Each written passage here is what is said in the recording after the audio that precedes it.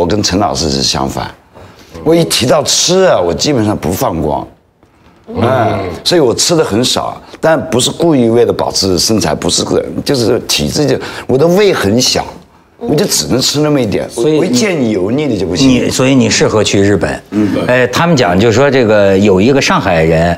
就说上海人，大家传统的偏见是是请人吃饭就小气吧，结果这个上海人就说说我到了日本才知道日本人请客多小气。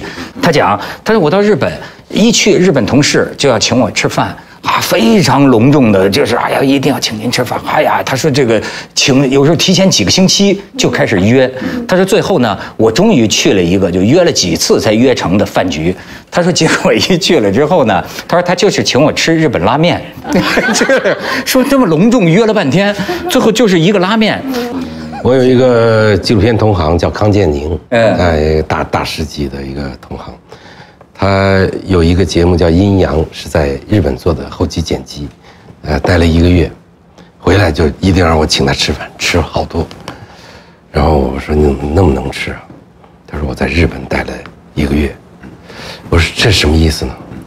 他说：“日餐的特点你不知道吗？”：“日餐特点挺好的，健康啊，而且呢很新鲜。”他不是，日餐最大的特点三个字儿。不走菜，是是是是是，哎，还真是。所以这就是说，他们日本人，而且说人家吃饭还有很多规矩，比如说，呃，都是在自己的碟子里，就好比比如说啊，这一碟儿上来几个虾。是按照咱们四个人，如果就是说你如果不吃啊，你必须声明我不吃，让给你，要不然没人染指你的这个东西。所以他就说呢，说日本人到上海就麻烦了，就是说中国人一请吃饭，那是只怕不够啊。但是日本人的有一种礼貌，就是客人给你安排的。必须得吃完，所以一个夹菜，这日本人每次都吃一肚歪，跟中国人出来。不，其实那是对食物的一种尊重，就是上的菜必须把它吃光，对，才他才会觉得哦，我请客请到位了，这个东西好吃。如果你都剩在那里，他会觉得我我请的东西没请好，不好吃。所以日本首先是对对食各种的节约，特别是对这种食材的节约。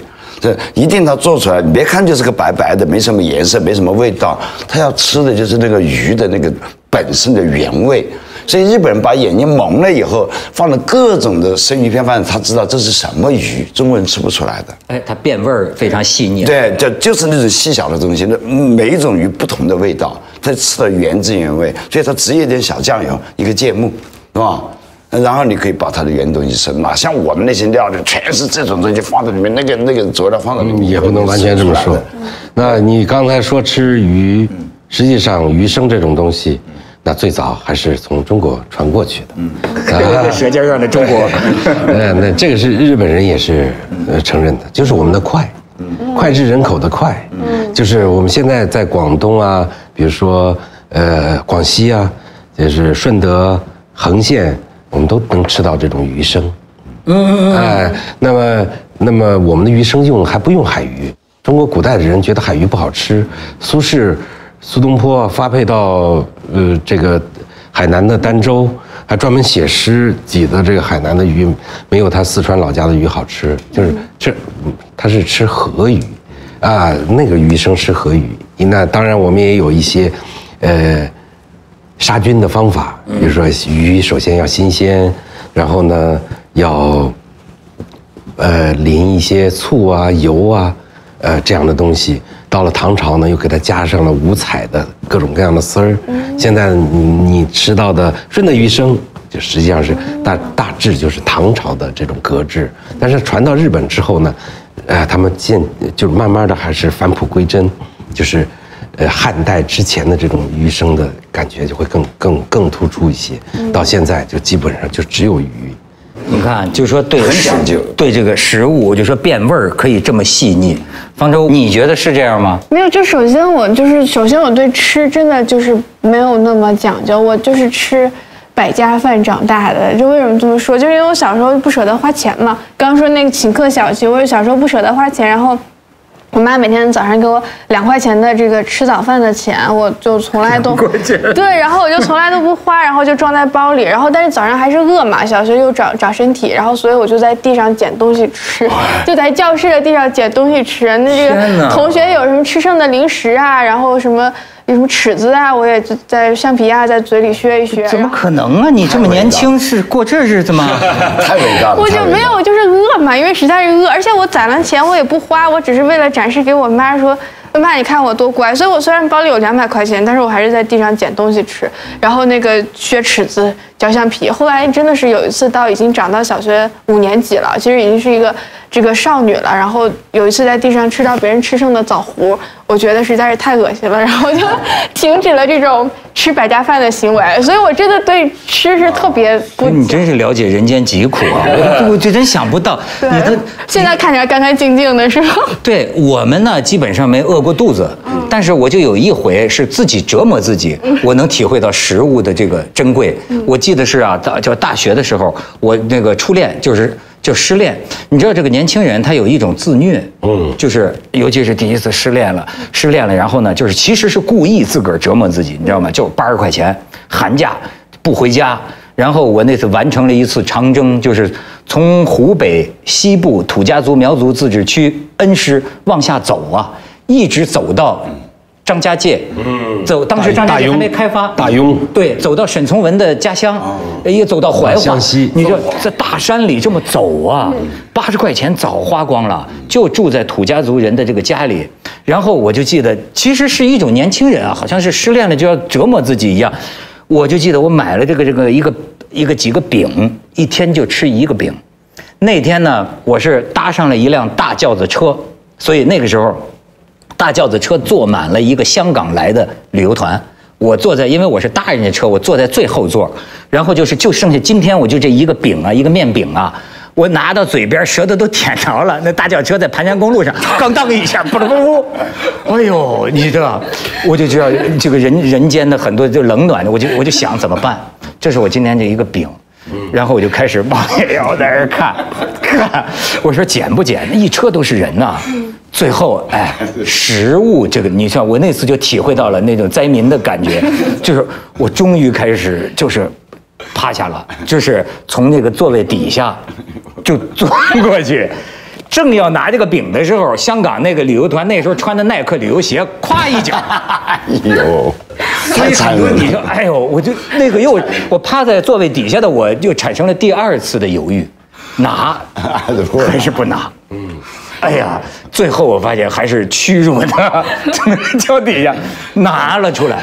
那个时候我了解人生了，这 个对，所以说不喜欢这种男的，就点菜点的少的男的吧，就是因为小时候这种吃人家吃剩的东西的记忆。我觉得男的只有一种饭桌上男的我不能啊，两种吧，一种是这个。这个这个就只点两盘凉菜，两个人分，这种我不喜欢。还有一种，我有个朋友情商特别低，就是他，比如他特别爱吃油焖茄子，然后呢，他请他这个老，他请他女呃，当时已经是老婆了，还有老婆的父母，还有老婆的亲戚，一共七个人吃饭，他就点了七份油焖茄子，就是这种，我觉得有点自私。其他的，我觉得哎只要给我吃的，你知道，就是好男人。不，这个有测试的，这个这这有测试的。就比如说，这个男的请你吃饭，呃，你们两个人，他点了两个菜，他点了四个菜，和他点了一大桌子菜，哪个得分最高的？在你看来？我觉得是点了一大桌子菜，然后呢，但是最后会把这个东西吃不完的都打包回去的男的。哦，打包对打包还有一个测试，就是说，呃，一个呢是这个呃问你要不要打包，呃，第二个呢是打包给你带走，第三个呢是打包自己带走，哪个得分高？嗯，打分不打包了给我带走吧，我觉得就问都不用问啊。对对对还有一个就是说有那个小动作的，就是说 A 是挠头，B 是撸鼻子，C 是撸袖子，哪个打分高？哪个打分高啊？撸袖子啊，因为我自己就是也是这样的，你知道，就是吃饭了也是这样，所以撸袖子就还挺可爱的。所以，那包括吃饭的时候的这个仪态，呃，一种呢是这个放松式的，对吧？呃，胸前也会沾一些东西。然后二种呢是谨慎式的，就是上身坐直，微微前倾，对吧？呃，呃这两种哪种更讨好？都都可以，只有一种我不能接受，就是说来张嘴啊，我喂你，就只有这种。有这个吗？有啊，有啊，就是相亲啊，就是遇遇我呀，相亲的时候就这样，就这太生猛了。对啊，就觉得暴力相亲就觉得会撩嘛，就觉得哎呀，你看我会不会撩，来张嘴，就只有这种我不能忍，其他你说吃的满身都是啊什么的。就是我觉得，就除了你需要体检一下，看有没有早早期帕金森以外，其他都没有什么，没什么，问题啊。那基本上都是妈宝。对吃的嘛。中国人的热情啊，喜欢跟人家夹菜。那我是最讨厌人家跟我夹，因为我吃的很少。你给我夹一碟子，我不吃嘛，又不好意思。而且那，筷子呢，就是当然，当然现在有有些用公筷和勺子的，特别是自己的筷子，当一下第一个，哎，想不吃，哎呦，这个我很难接受，真的。这都是因为中国人过去物质不丰富，包括请客请吃的多，就是，比方说我们老家，一定是盘子和碗是呃那个碟子和盘子是两种东西。嗯，所谓的碟子是平的，嗯嗯，盘子是稍微有点弧度的。嗯，那为什么会有这样的区分？如果请客的时候，先上的是碟，炒碟儿。炒完了是盘子，带点汤的，盘子一律不许撤，还在上面啊，再落一层，嗯，然后在这个各个呃盘子的交接处再落碗，嗯，这是顶级的科技，哎，这是我心心特别特别诚，这是物质匮乏造成的，递烟这些劝酒，这都是，就是、就是他酒不够喝，我都给你喝了，哎，这都是，对对对对对对对。那所以这种习惯要哎，改。这是这是这是，嗯，传统跟跟历史相关。还有一个说是这个买买单的，就是说，呃，这个一要买单的时候，这男的请你吃饭，一要买单的时候，先问服务员店里有什么活动，这是一个。然后第二个是要发票啊，第三个是这个不要发票，也不问活动，直接买了，哪个印象最好？直接买了。我觉得男人说不要发票的那一瞬间是最帅的。对，无你不觉。得他不会过日子吗？你将来你要相亲呢这样的男的那的，不是浪费？这个相亲的为什么要报销呢？这太奇怪了。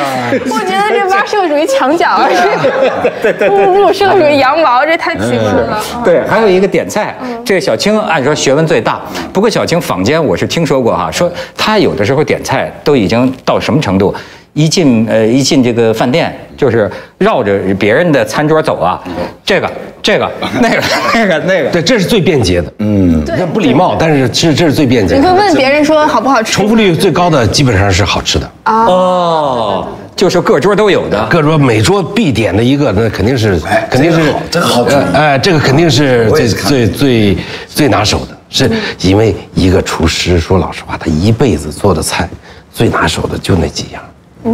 哎呦，哎，你是怎么点的让大家满意啊？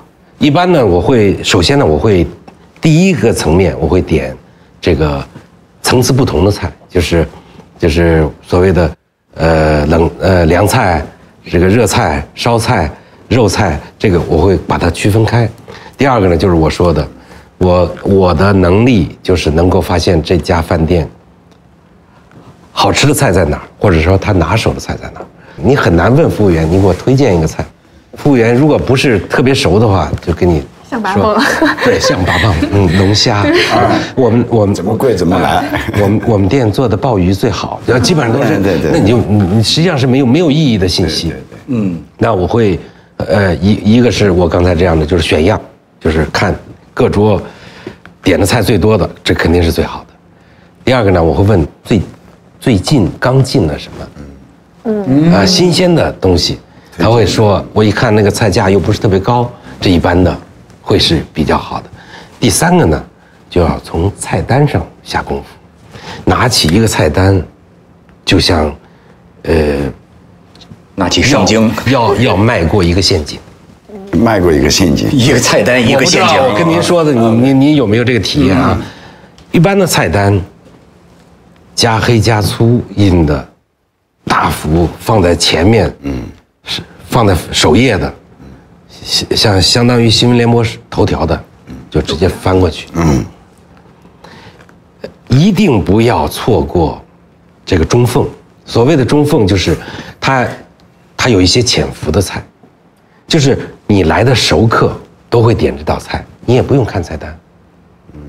看菜单呢是对这个店不熟悉的人，他会用很小的字在一个边缘给印。了，所以我把它叫做潜伏菜。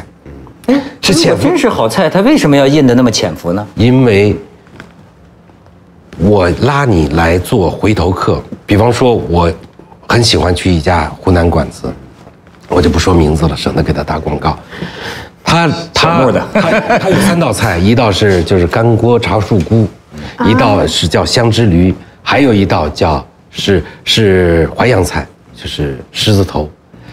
他的狮子头十八块钱一个大狮子头，那真是成本价。就是喜欢来的客，喜欢他家的客人知道他是有这个菜，那就点这三个菜，我们四个人吃，这是肯定够了。嗯，再再点一个青菜或者一个汤，我们一顿饭就吃完了，一一一一结算，一百一十块钱，嗯，这个饭店要亏死的。哦，对对对对对，他指指望你点了这个菜之后，再有一些酒水啊，再有一些点一些其他的菜，所以呢，他就要把它写在旁边，写在旁边，呃，一般的人不会注意到那个小字儿的，但是遇到我这样的特别鸡贼的人呢，那有加插图的我都不看，我是个成年人，不看插画，只看这个字儿，然后啊，发现里边有。这这个小青是入入道了，我现在都跟他学习。你比如他研究这个菜单呐、呃研究出学问，甚至援引欧美的，就说外国有人研究，就是啊，你看美国的，他们研究很多菜单，就是说长，呃是是是一个一个指一个指标，据说就说多一个字母，嗯，就价钱就多十八美分。对，一般的一个贵的菜比便宜菜多都一般的都会多呃半美元，就是多实际上就多了三个字母，就给这个菜起名字，都要起的，还有一个是就是说呃标明这个原料的来源地，对。这也是一招，就是说，比如说，就是说，哎，比较长的叫什么呢？我那那天在你的文章里看什么安格斯牛肉，对吧？安格斯草饲牛肉，对，叫念青唐古拉山安多牧场五年草饲牛肉。那你你看哇，这个不得了太想吃了。啊！你会你会有占有欲，因为它唯一性标的越清楚，你会越越有占有欲。稀少性，或者几年只有这么一只头是吧。还有呢，就是要有外来语，标明工艺。现在很多美国的高档的嗯餐厅都会有一些阿拉伯语啊、日语啊的译音译。嗯，呃呃，这个就你会天然觉得这个是异域风情。喂，呃，小木学点了吧？在日本啊，那个有个叫牛藏，牛藏，西藏的藏，牛。哦牛藏啊，牛藏就是他每一天的牛肉是不同的人在不同的地方养的，嗯。嗯，然后呢，有男的女的，就是他一个星期七个人在那里摆着七个人的头像，今天是吃吃这个人的，吃这个人，然后那个各种各样的牛肉全摆出来，那那个时候你必须要喝酒。那不是说只是吃菜，像中国这哪哪像中国的餐馆可以自己带酒，这简直是太不尊重人家餐馆了。人家那个是成本钱，对不对？这个也是啊，我觉得是一种习惯。餐馆和外国餐馆最大的差别。对，好的牛肉、好的服务，它不一定价格是最贵的，但它的服务一定是最好的。它把这个故事用的什么饲料，它都告诉你。但我不能给他做广告，是日本最大的一个商社给他们提供那个牛的饲料，嗯，那很牛逼女生那个其实因为一般是让男生点菜，女生就是刚刚都说这男生在餐桌上礼仪，但其实女的也有餐桌礼仪的。对，就是当时我是之前看了日本的一个，其实是一个广告，它拍成一个 MV，就是讲女生在吃饭时候的礼仪。比如说这递菜单的时候是要这样。双手，哎，因为这样就可以露出自己这个雪白纤细的手腕，嗨，我以为表达恭敬呢。然后这个这个这个要增进好感的话，就会对方点了一个饮料，自己点了一个饮料，然后就会说我尝尝你的饮料好不好喝。然后对看对方的时候一定要上是四十五度角，所以其实我觉得男女吃饭有时候挺无聊的，因为你根本大家就不是这个在吃这个菜本身，就是在这个在试探彼此和拉近彼此的关系。我觉得你上次的招最管用，你最孤独。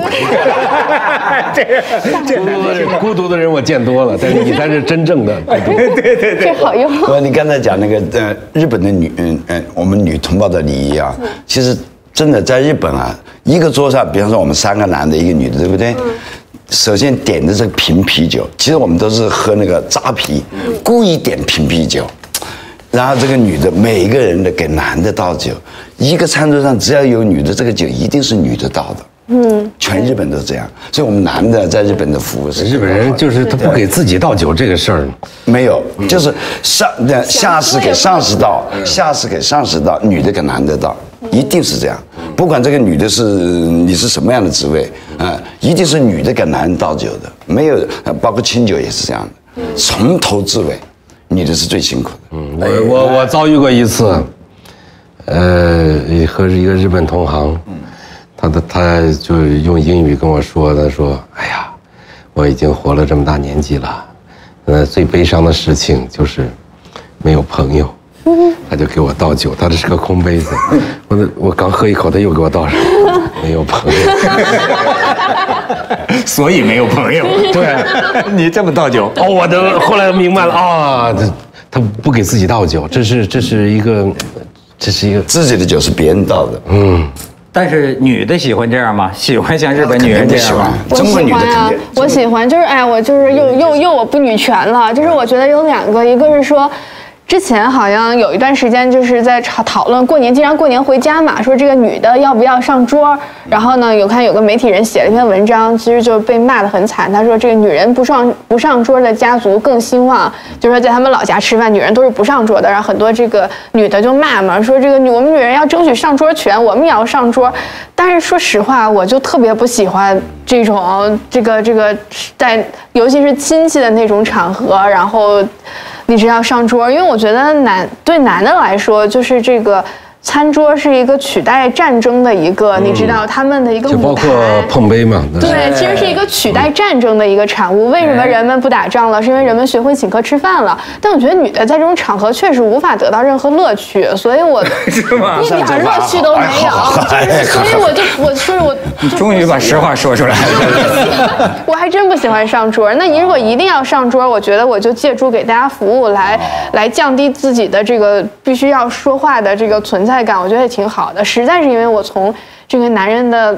你知道战争取代物当中无法获得任何乐趣，所以我这一点还挺就一直挺不我女权的。我我听一位这个老作家哈，这个饱含感情的去讴歌中国的妇女，他说几千年来，我们中华民族的妇女，她们说的最多的两个字是什么字？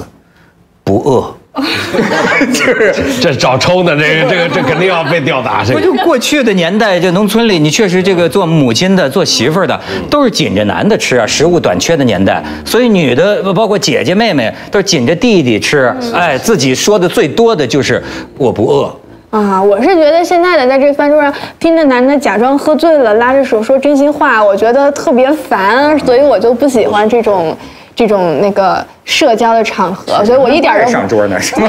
我不爱上桌，我不要上桌权，自动放弃上桌权。你你说的对，就是说咱们在这个饭桌上啊，真的是就是说男人很多时候啊，他的那种虚荣心呐、呃，那包括那种功名欲啊，哎，都能得到体现。就比如说，你就说这个菜单，我那天看小青也有这个研究，就是说，你看中国人的菜单，他重视的就有某种特权意识，比如说特供。是吧？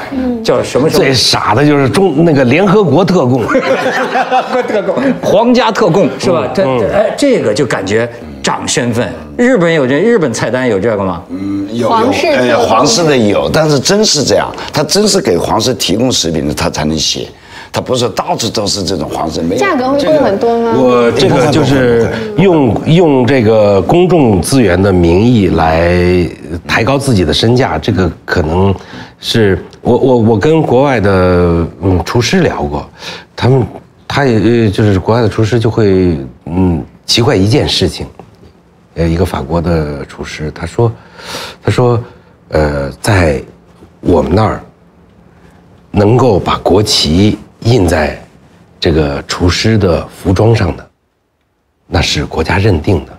他说：“为什么你们所有的厨师都可以把国旗印在？啊，都呃都能代表国家吗？就是能代表这个国家的饮食吗？那这个确实是。”标准不一哎他有他有他的职业尊严，对对对这职业尊严。所以大家才会尊重这个行业，因为你真正能够达到这个标准的人并不多。你看现在的嗯，二十几岁都是国国家级的特呃叫什么，叫不不不不不叫叫叫叫叫认定的呃对对。对大师，烹饪大师，嗯，哎，特级大师，嗯，啊，都都是这样的，就是他就太儿戏了。其实我刚才说，呃，您举的那个例子，我我实际上是在推荐一本书，就是叫《食物语言学》。那本书是呃美国斯坦福大学一个教授叫任少棠他写写的，呃，关于食物的来源的问题。就比如说很很多食物我们都不知道，比方说炸鱼土豆，它实际上是以前波斯的食物，嗯，啊，都它的呃这个历程都非常非常的曲折，啊。它里边就说到一个很简单的那话题，关于菜单的，关于我们点菜的。哎，但是越到顶级的餐厅，嗯点菜越少，点菜它少越的它你你可以点的菜越少。为什么呢？我就只做这几个菜。对精，啊，我们开店八十个菜，就到现在就八十个菜。八十个菜，这肯定都是都是多的。不少。挺多的。八十，那是为了为了迎合日本人和来的中国人。是是是。但我们不改，这个味道一直把它做精。一个红烧肉要搞六个小时，因为在我们湖南的那个那个火宫殿，火宫殿和毛家饭店做的毛家红烧肉啊，我们的厨师从那请的。结果一看一比，没有鹿儿岛的做那个黑猪肉的做得好。我到到鹿儿岛的一个五星级酒店去住，然后呢，我要了他一份红烧肉，一方块，他们叫卡布尼。我说我要带走，他不给你带。我就只有他给我一个毛巾，有个塑料袋，我就塞在两块在那里，把它带到东京，研究它，要六个小时把那个皮才能吃得动，然后形状还不变，红烧肉，这个你就这个要去研究。这个你你也你因为在日本待的时间久了，你可以我我随便给你写好几个餐厅，都可以做。呃，都可以让你嗯大开眼界，嗯。没错，你看他这脸色都是红烧肉。啊，是，就是呃，在北京，在南京，呃，在上海都都有做做做这个做的非常非常好，而且包括形也非常非常棒。就是红烧肉做了六个小时以后，四四方方的，不变形状的，有这个皮是软的，跟入口边缘相融。边缘是锐，就是直角。哎呦，是这样对嗯然后颤巍巍是吗？对，天哪！所以我觉得像其实明白明白这个事情很简单，我就在这暴露这个秘密吧。啊不难，是日本厨师告诉我，我们中国厨师老想半天没想，我们湖南招来的人，我们厨师都是农民出身，你知道吧？没也没读过几天书。日本人说，哎，那你先把那个呃枪，把那个皮先烧掉一层，那叫黑的对吧？把它刮掉以后，把皮刮掉以后就红的皮，但怎么把这个肉整块去煮？煮完以后它不就硬了吗？你再去切它不就方了吗？你再去炖六个小时它不变形状是这样，很简单。